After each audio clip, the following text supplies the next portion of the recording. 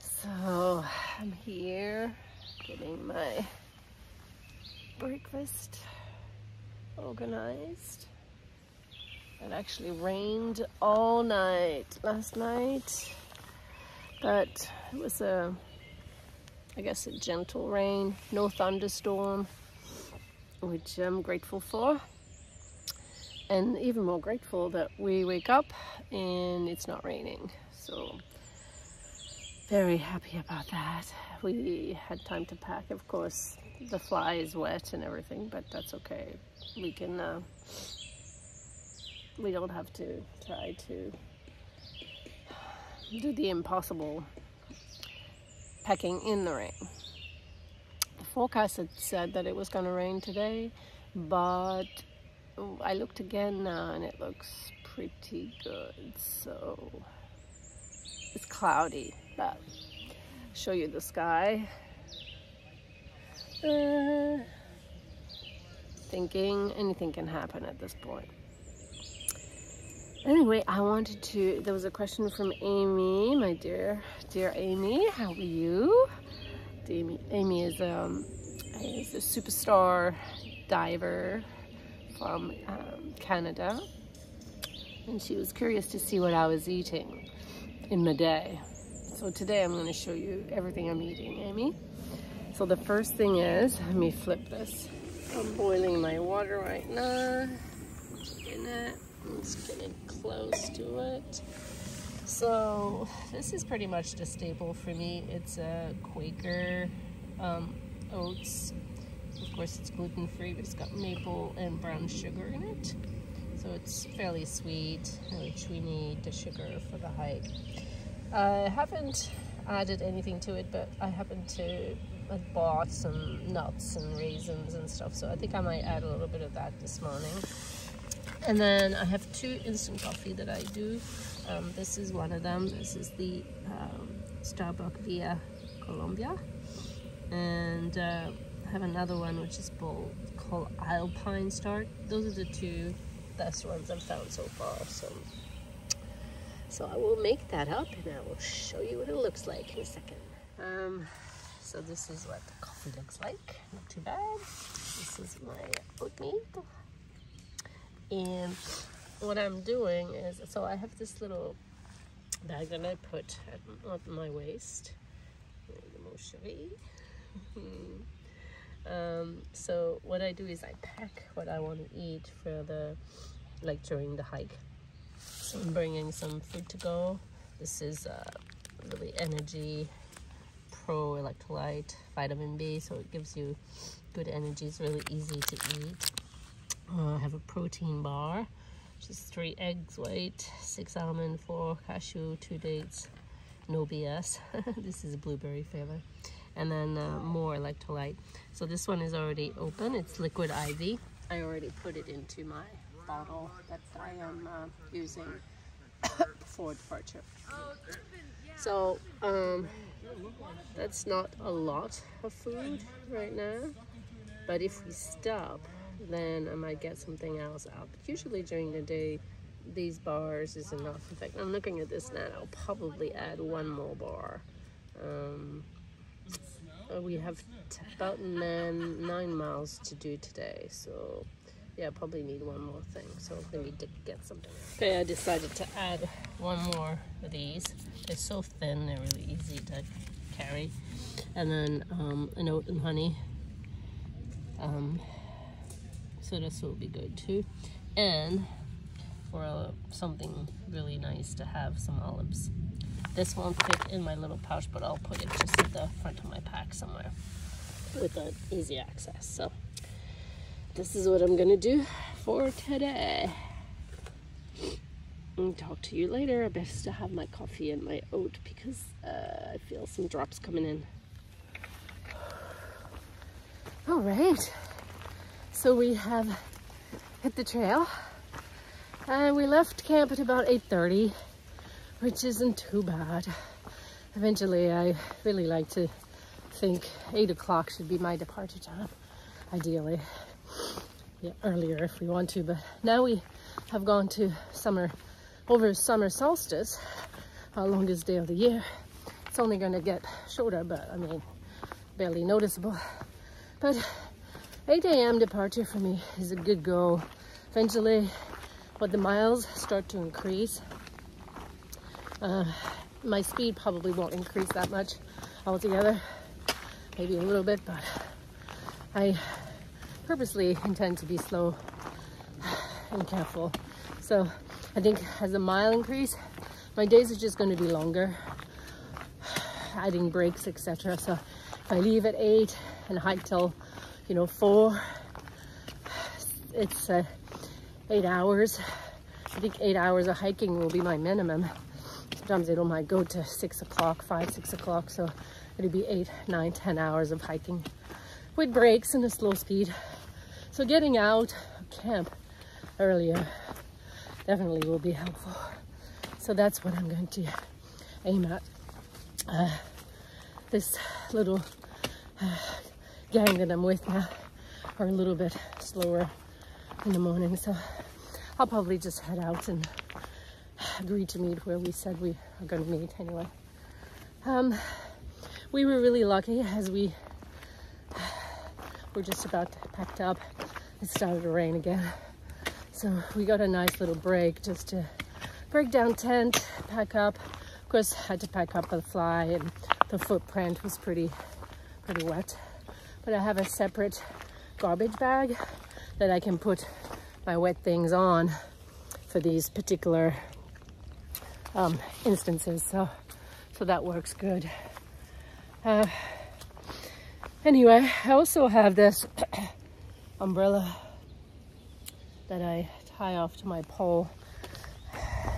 Even though I'm thinking if I ever want to stop somewhere to have lunch and just want to be protected from the sun, I mean the sun, it would protect me from the sun too, but protected from the rain, I have the umbrella.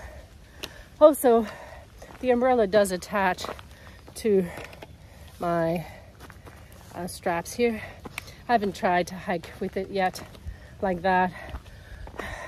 I think I would do it in a wide open area. But if it's gonna, if your umbrella's gonna get caught in branches and stuff, not worth it. Plus, even though it's raining, when you have so many trees on top of you, it really protects you. You're not getting like downpoured on your head. Plus, you know, we have good protection. I have my pack cover there, which hopefully works well. And then inside my bag, my very important cargo that must not get wet, like my sleeping bag, my sleeping clothes, uh, my mat. Um, that's all into a special bag, waterproof bag. And then all of this collectively is in another bag. So there's a lot of redundancy that hopefully ensures that nothing gets wet. Anyway, it seems like it's not raining now, so. But we are grateful for the rain. The rain is needed for the land. We know it's very dry, so the land and the fauna and flora is happy and uh, we can cope with it. My feet are dry. So far the path is amazing. I'm sure we're gonna have some more of these rocks soon. And then that's when the speed will again slow right down because uh, rocks are gonna be slippery for sure. Anyhow, that is the update for the time being. Hope everybody's having a good day, a good morning, or good evening, whenever you're watching this. Bye. just came out of the wood and uh, there's a clearing. So whenever you get a, a clearing like this, this is a very small, narrow one, but whenever you have a clearing, it's always because of a, either a gas line or uh, electricity. So you see a pole like this. And then of course on our map it says this, this is a gas line. But sometimes that's where we are getting out of the green tunnel and seeing some views. You can see, oh, sorry, this is like dizzying. Let me just cut that out here. Let's go back this way. So you can see you come out of the woods. You see the view or the clearing. And you go back to the woods. But it's nice to have that. So it's very cloudy, but it's just drizzling right now, so that's not too bad. Um, the other thing I was going to mention is last night when we got to camp, I was really tired. I went to bed. I went to bed. I went to my tent like around seven and read a little bit and chilled and stretched and whatever. And really was fighting to to get to sleep to not go to sleep because I thought it was way too early. Chatted with Jack for a little bit on text and and then went to bed at like 8:30 or 8 8:30 fall asleep. And I didn't really wake up I, I tossed and turned a couple of times through the night and I didn't even wake up until 6. 6.30 I got up. So that's like 10 hours of sleep. Just goes to show I was really tired and I needed to recuperate. And I have to say through the night, you know, hearing the rain was very soothing, felt comfortable and very confident that my tent, you know, would be fine and no water would come in. So it was it was very nice. It was soothing, really good sleep, and um, feel rested this morning. You know, had my breakfast and had the opportunity to do my business. Yeah, business in the wood. When you do these dispersed campsite, there's no privy, so you got to dig a hole. So, dug a hole, did my business. So felt good and I feel like I have energy this morning to uh, to be hiking again, uh, which is great. Um, but you know, I'm thinking about it. Yesterday, again, I didn't stop as much as I should have. I thought I was going to get to the watering hole and get a, a rest, but as it turns out, that watering hole was where we were camping, so it was our destination. I didn't go to the watering hole. I was kind of feeling chilly and tired, so I wasn't going to go into the water for sure. Uh, Andrea went, Hungry Bird went, and uh, Mander went and tried to fish even, which was nice, but I, I didn't go. But my point is that really need to um, always stop and have breaks and I realized too, I was really thirsty, so I hadn't really had enough to drink throughout the day because I didn't refill my bottle. You stop, you refill your bottle, and I didn't do that, so I didn't drink as much as usual. So when I was in my tent, I before falling asleep, I probably drank three quarter of a liter of water. I didn't even wake up to go pee. I didn't need to pee. And even when I got up this morning, I didn't need to pee right away.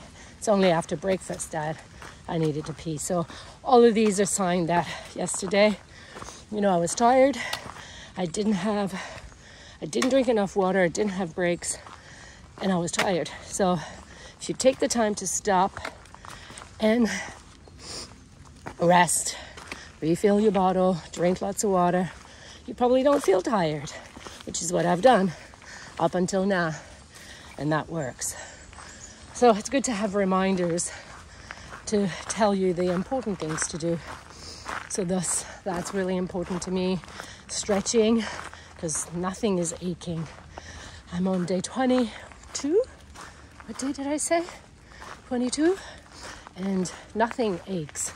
Yeah, my feet are, you know, working hard and I feel the muscles working hard, all those little, little muscles in your feet that help you stabilize, ensure you, you know, you stay on your foot in this rough terrain. But I'm not, not hurting, which is amazing. I'm, I'm so happy with that.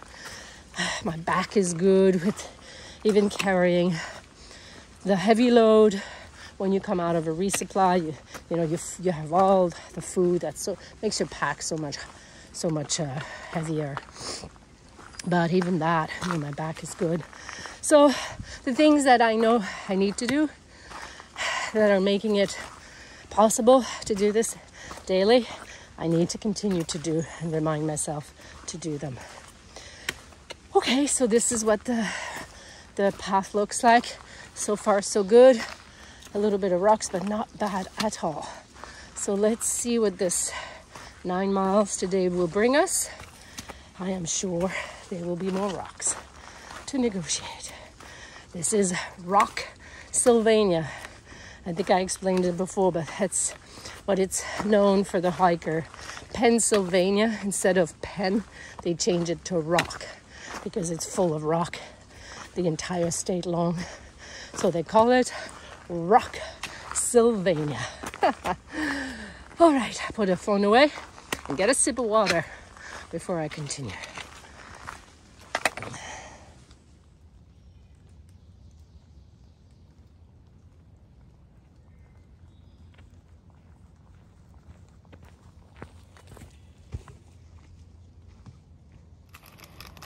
All right, three miles into it, uh, a third of the way for today so far so good.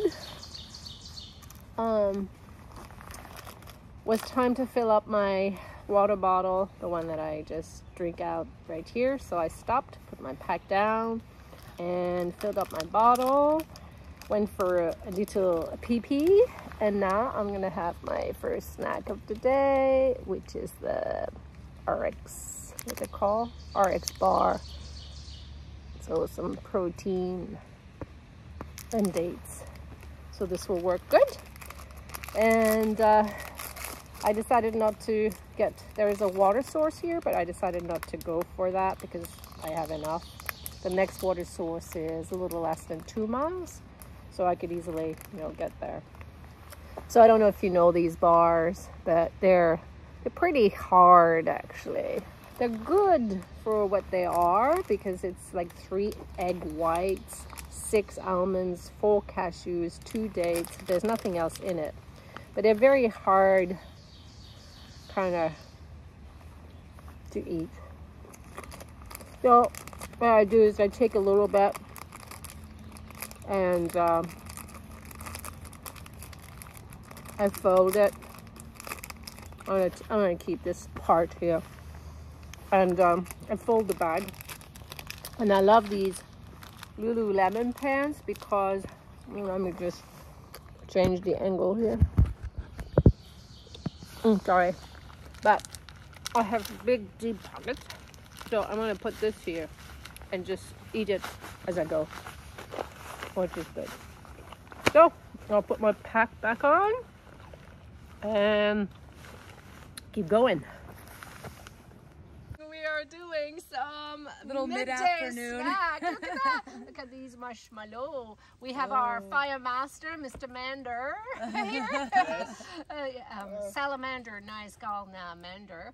And he is expert at making fire, and we're having beautiful marshmallow. Ooh, look at your horse! Oh. He just took a bite of that. That is awesome. So I'm going to do mine with the kinds oats and honey that's going to be in lieu of the graham cracker which isn't gluten-free. Oh, so I look forward to that. So another little rest. We're almost at the shelter but we stopped for a pee and a potential water refill. And so I'll take an advantage of this and having a little fruit to go so we just come out of a control burn area. It was really large. This area, road or trail, is integral to a control burn being conducted sometimes between. For your safety, the area will be closed on burn day. Oh, so they just do it in different times. Huh. Very interesting.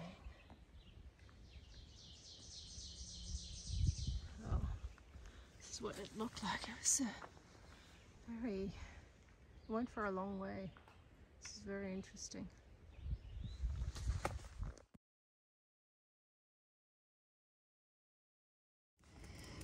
okay, so we came to camp and I was hungry, but it had to go get some, um, had to go get some uh, water. So I had a little bit of moon cheese um, as like snack and then my dinner was I found some gluten-free tortillas, which is amazing. So I wrapped the EVOO wild yellowfin tuna, which are an extra olive oil, into the tortilla, and that was my dinner. And the asparagus were delicious. And now I'm going to have a Swiss-made milk chocolate. Why don't you show them? What is this? It's a little salamander I found. Oh my gosh, After- he's after my name. baby. He's a baby. What are you gonna do?